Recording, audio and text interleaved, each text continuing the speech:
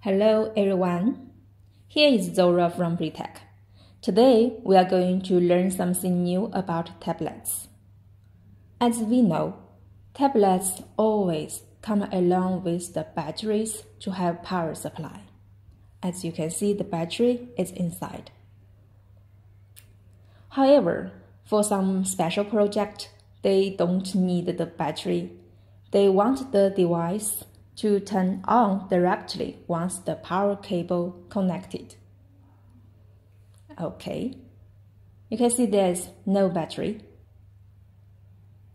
And here, this one with battery is very normal design and this our special design. Let's see. Okay, the power supply cable connected.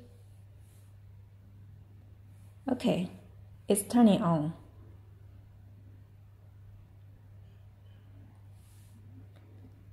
It takes some seconds, so let's wait in patience.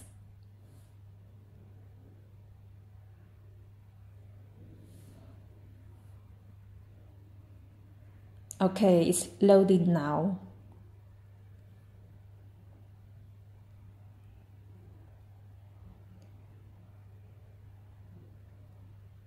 Yeah, everything goes well.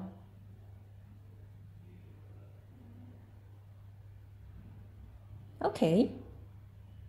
It turned on and it's working. Good.